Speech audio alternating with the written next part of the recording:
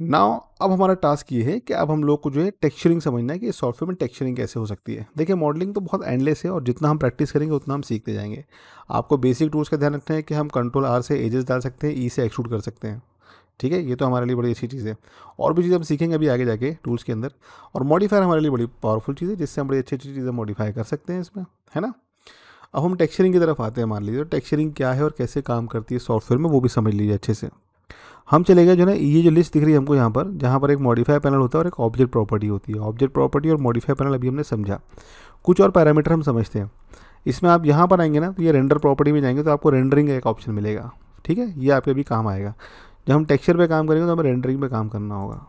और टेक्सचरिंग हमको मिलता है सेकंड लास्ट ऑप्शन यहाँ पे एक स्फेयर बना है, जिस पर लिखा मटेरियल प्रॉपर्टी तो यहाँ आप किसी भी ऑब्जेक्ट के लिए मटेरियल बना सकते हैं। मैं फ़र्स्ट ऑफ़ ऑल ये रॉड है ना, इस रॉड के ऊपर एक मटेरियल लगाना चाहूँगा। और क्या लगाऊँगा मैं इस पर कुछ ब्लैक कलर की इसको रॉड बना देता हूँ। ठीक है ना? ऐसा। तो उससे पहले मैंने बोला एक प्लेन और बना दिया तो हमने शिफ्ट ए प्रेस करा और मैं मैश में गया और मैंने बोला एक ज़मीन पे प्लेन बना दो भाई साहब ऐसा करके। और स्केल टूल की मदद से आप इसको कुछ ना स्केल कर दो बीच में से कुछ इस तरीके से ऐसा। इससे फ़ायदा क्या होगा कि हमने ये जो ऑब्जेक्ट यहाँ बना रखा है ना, ये करके ऐसा, ये पूरा का पूरा, इसको हम थोड़ा ज़मीन से ऐसा ऊपर उठा सकते हैं और इसको प्रॉपर ज़मीन पे से प्लेस कर पाएँगे ये। ठीक है? अच्छा लगता है ये इस तरीके का ऑब्जेक्ट ना इसके बाद में आप जब Z दबा के जब राइट क्लिक कर रहे थे ना तो आपको देखना है यहाँ पे वायर फ्रेम रेंडर्ड सॉलिड और मटेरियल प्रीव्यू दिख रहा है हमको ना? मटेरियल प्रीव्यू पे क्लिक करा तो फ़िलहाल दिख रहा है कि हाँ भी मटेरियल कैसे लग सकते हैं। सिमिलरली मैंने Z दबा रखा और मैंने बोला रेंडर तो रेंडर में सिर्फ़ रेंडरिंग का आउटपुट दिखता है डायरेक्टली कि रेंडर आउटपुट कैसा निकलेगा। देखो लाइट पीछे है तो रेंडर आउटपुट सामने आ रही शेडो वगैरह बन के। तो ये रेंडर आउटपुट है हमारे पास, ऐसा। तो वापस जेड दबाया हमने मटेरियल प्रीव्यू पे चलेगा फ़िलहाल के लिए। ठीक है, ये काफ़ी है हमारे लिए। अब हमने क्या करा कि ये जो सरफेस है नीचे रॉड वाली, इसके लिए हम क्या करेंगे? इधर जाने के बाद में इसका नाम क्यूब ज़ीरो ज़ीरो वन है। यहाँ पे आप देख रहे हैं एक मटेरियल बना है और यहाँ पे दिखा रहा है कोई मटेरियल नहीं है अवेलेबल तो आपने बोला न्यू एक नया मटेरियल लगा दो सीधे डायरेक्टली सरफेस के ऊपर। अच्छा उसका नाम दे दो आप।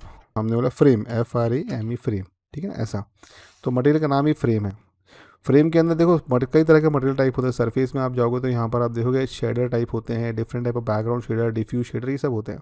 बट बाय डिफ़ॉल्ट यहाँ पे प्रिंसिपल्ड जो शेडर है ना, ये काफ़ी हमारे लिए सरफेस ये हमारे लिए सब, लगभग सारी प्रॉपर्टी दे दी जो हमको चाहिए।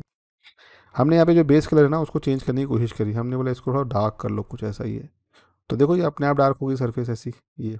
इसके बाद में अगर हम मान लो रेंडरिंग पे जाते हैं ऐसा करके, और रेंडरिंग टाइप हम थोड़ा चेंज करते हैं तो हम थोड़ा और उस पर काम कर पाएँगे टेक्सचरिंग पे। काम ये कर पाएँगे कि सबसे पहले ये जो लाइट इसमें लगी हुई है ना, इस लाइट को आप डिलीट कर दो, ठीक है ना, ऐसा। भाई ये लाइट हमको नहीं चाहिए। फिर क्या करोगे सीन में? हम हमारी खुद की लाइट लगाएँगे। तो शिफ्ट दबाएँगे हम ऐसा करके देन हम लाइट्स में जाएँगे और हम बोलेंगे हम एक सनलाइट लगा दो ऐसी है। और सनलाइट को हमने ऐसा ऊपर उठाया और ये हमने साइड में रखा और उसको ड्राई करके थोड़ा तिरछा कर लिया ताकि शेडो अपने आप तिरछी हो जाए हमारे पास ये ऐसे। सनलाइट की प्रॉपर्टी में बहुत सारे पैरामीटर होते हैं, आप जब एंगल वैल्यू बढ़ाओगे तो आप थोड़ा सा स्मूथ शेडोज़ दे पाओगे अच्छे से, ये इस तरीके से, ठीक है ना? काफ़ी इतना मेरे पास मेरे पास, मेरे रिज़ल्ट को दिखाने के लिए, ठीक है ना? ऐसा करके। अब मैं वापस जो है सनलाइट तो लगा ली रेंडरिंग पे जाऊँ। सो मेरे पास यहाँ पे ईव नाम का रेंडर इंजन है। तो ये रेंडर इंजन जो है मतलब ब्लेंडर का एक पुराना रेंडर इंजन है। सरफेस इसको स्मूथ करने के लिए अगर मैं चाहूँ ना तो ये जो ऑप्शन था मेरे पास प्रॉपर्टी में मिरर और ब्रेवल तो लगा दिया था। मैं यहाँ पर जाकर एक सब डिवाइड भी लगा सकता हूँ। तो सब डिविज़न क्या करेगा, इसको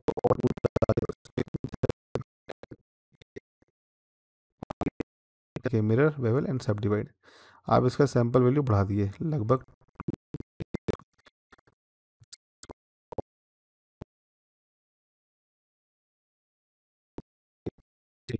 इसके बाद में अगर मुझे मेटलिक करना तो मेटलिक वैल्यू बढ़ा दूँगा तो मेटल जैसे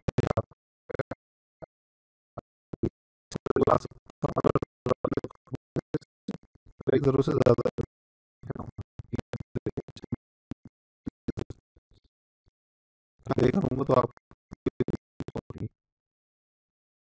आ गया, ये, ऐसा। दिख रहा है आपको ये? ना इसी के साथ साथ अगर मान लीजिए मैं ये जो सरफेस है, इस पर भी कोई टेक्सचर लगाना चाहता हूँ तो बड़ा ही आसान है। आपने इस पर दिया बेस बेस के लिए आप फिर से सरफेस पे जाएँगे न्यू पे क्लिक कर दिए और इस मटेरियल का नाम दे दिए base B A C base enter इसको हम कुछ हद तक ब्राउन कर लेते हैं ना, ये ऑरेंज या ब्राउन जैसा शेड कुछ कर लेते हैं। अब मान लीजिए यही कहीं शेडर शेडर या टेक्सचर मुझे इस सरफेस पे लगाना है तो आप ये जो मटेरियल के ड्रॉप डाउन लिस्ट में जाएँगे ना तो यहाँ पे आपको तीनों मटेरियल मिलेंगे जो आपके पास में है, जो डिफ़ॉल्ट था फ्रेम और बेस का। मैंने बेस पे क्लिक करा तो बेस मटेरियल यहाँ भी लग गया। याद रखिए, सारे मटेरियल मुझे कहाँ लगाना चाहिए? मटेरियल मुझे ऑब्जेक्ट मोड में लगाना चाहिए। मैं इस पर कोई इमेज भी चाहूँ तो लगा सकता हूँ, ध्यान रखिएगा। ठीक है ना? इमेज लगाने के लिए मुझे क्या करना होगा? ये जो बेस जहाँ कलर लिखना है इसके बगल में आपको डॉट दिख रहा है। इस डॉट पे क्लिक करेंगे तो वही मॉडिफायर टाइप की विंडो खुल जाती है। और इसमें आप जाकर जो है ना इमेज ला सकते हो बाहर से। ठीक है? और वो पूछता है बाहर से इमेज आपको कहाँ से लानी है? मैंने ऑटोमेटिकली ना फोल्डर में कुछ इमेजेस रखी हैं आपके लिए, आप चाहे तो इंटरनेट से डाउनलोड कर सकते हैं बट आप फोल्डर में जाके ला सकते हैं, ठीक है? इसके लिए मैंने क्या करा कि मैंने क्लिक करा, यहाँ पर ये न्यू नाम का ऑप्शन है, या ओपन नाम का ऑप्शन पर क्लिक करूँगा, वो मुझसे पूछे, कहाँ से टेक्सचर लाना चाहते हो? तो मैंने इस पूरे पाथ के ऊपर जाकर कंट्रोल वी से पेस्ट मारा, एक नया पाथ जो मेरा वहाँ चला गया तो आप देखो, ये सब मैंने डाउनलोड करके आपके सामने रखे हुए हैं। तो मुझे ये कुछ एक टेक्सचर दिख रहा है, मैंने इस पर क्लिक करके बोला ओपन इमेज तो आप देखिए, वो टेक्सचर यहाँ पर बड़ी आसानी से आकर के लग गया।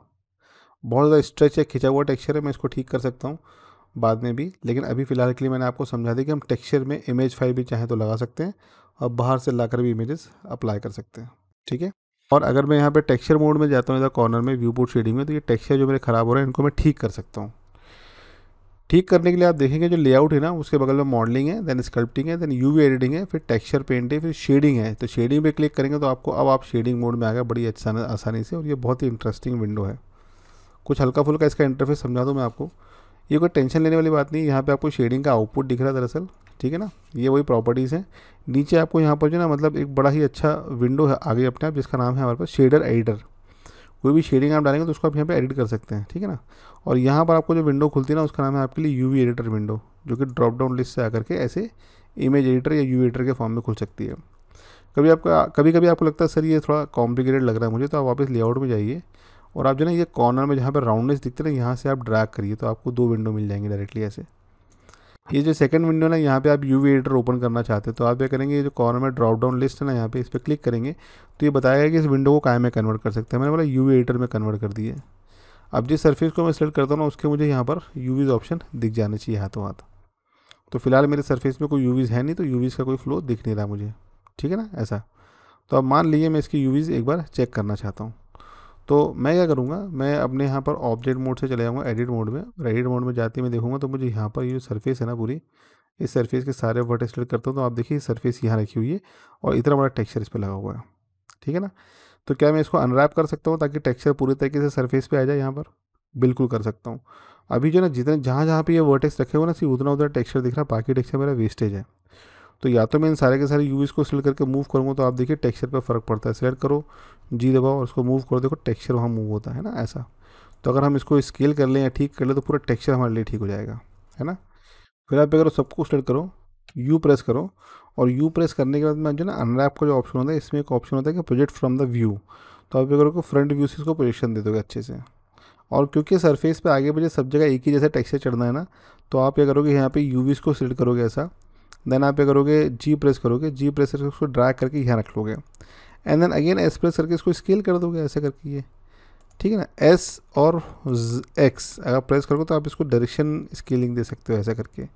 और जी प्रेस करके वापस ले आओ। देखो पूरी की पूरी सर्फेस को आपने प्रॉपर यूज़ कर लिया। अब अगर यहाँ पर आप वायर फ्रेम से बाहर निकलते हो और आप मटेरियल मोड में आते हो तो आप देखो आपका टेक्सचर कितना परफेक्ट आया। यही काम आप जो ना मतलब इस एडिट मोड से बाहर निकल के ऑब्जेक्ट मोड में आ जाओ। और एग्जैक्टली सेम प्रोसेस आप नीचे वाले के साथ में भी इस्तेमाल कर लो, इधर भी, ऐसा। आप यहाँ पर इसके एडिट मोड में चले गए और आपने बोला क्यों ना एक काम करते हैं, अपन वायर फ्रेम मोड में चलते हैं। जे प्रेस करा एंड वायर फ्रेम में आ गया। देन फिर सारे के सारे वर्टेक्स लिए और ये बीच से गैप खत्म करने के लिए इसको मैंने और पीछे ले लिया, कुछ इतना, ऐसा। ठीक है? ये हमारे लिए बड़ा अच्छा हो गया।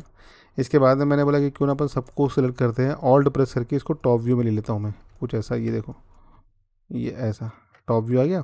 तो मैं यहाँ से इसको जो ना मतलब अनरैप करना चाहूँगा। तो यू प्रेस करा देन आपने बोला प्रोजेक्ट फ्रॉम द व्यू ये देखो कितना परफेक्ट पोजिशन हुआ। सारे वर्टेक्स को सेलेक्ट करा। जी प्रेस करके इसको बीच में रख दिया। एस प्रेस करके इसको स्केल कर दिया। स्केल ऐसा कि पूरा मैक्सिमम एरिया कवर हो जाए। एक्स और एक्स प्रेस करके इसको थोड़ा ऐसा लंबा भी खींचे ताकि जो आजू बाजू जगह छूटे ना, उन सबको हम बचा लें। और फिर से जी प्रेस करके इसको अंदर ले आया मैं ऐसे करके ये। तो जब यहाँ पे जाऊँगा मैं, इस वाले व्यू में जाऊँगा, जो मेरे लिए पर्सपेक्टिव व्यू ना, इधर यूज़र पर्सपेक्टिव इधर जाकर जब मैं वायर फ्रेम मोड से बाहर निकलूँगा और मटेरियल मोड में आऊँगा तो मैं देखूँगा मेरा बड़ा अच्छा मटेरियल इसका भी सेट हो गया। जैसे ही मैं एडिट मोड से बाहर निकल कर ऑब्जेक्ट मोड में आता तो आप देखिए बड़ी अच्छी चेयर आपने यहाँ पर डेवलप कर ली। अब ये जो विंडोज़ की ज़रूरत है, इसको आप बंद कर सकते हैं, है ना, ऐसा। और बंद करने के अलावा अगर आप ऊपर यहाँ पे कहीं पर राइट क्लिक करेंगे ना, इधर देखिए ये, इस एरिया में ऐसा। तो आपको एक ऑप्शन मिलता है क्लोज एरिया तो ये विंडो ही बंद हो जाएगी वो वाली, ठीक है ना? ऐसा। अब फाइनली जो ना, इतना बनने के बाद में अगर आप इसका रेंडर आउटपुट देखना चाहते हो ना तो आप क्या करोगे? आप ये जो लास्ट वाला जो आपको ऑप्शन है ना, इसको आप जब ऑन करोगे तो आपको जो ना, एक बहुत ही अच्छा रेंडर आउटपुट दिख जाएगा यहाँ पे। और आपको सारे टेक्सचर्स विद शेडो और एवरीथिंग आपको एकदम क्लियर यहाँ पे दिख जाएगी। इसी तरीके से मैं आपको एक असाइनमेंट देता हूँ कि अब आप जो ना टेबल के ऊपर टेक्सचर करिए। तो टेबल का टेक्सचर आपके लिए बहुत काम आएगा और आप यहाँ पर बहुत अच्छी चीज़ें कवर कर पाओगे उसके अंदर, ठीक है? So thank you so much और हम नेक्स्ट क्लास में देखते हैं कि हम पूरे इंटीरियर कैसे डेवलप करेंगे।